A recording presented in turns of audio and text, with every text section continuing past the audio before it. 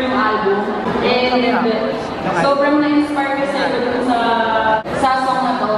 And ito yung pinaka-recent niyang pinlay na live.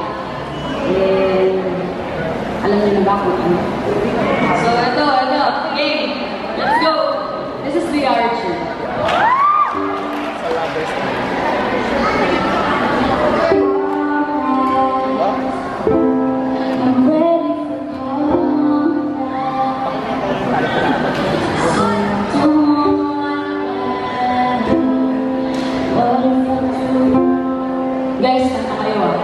तालिका है।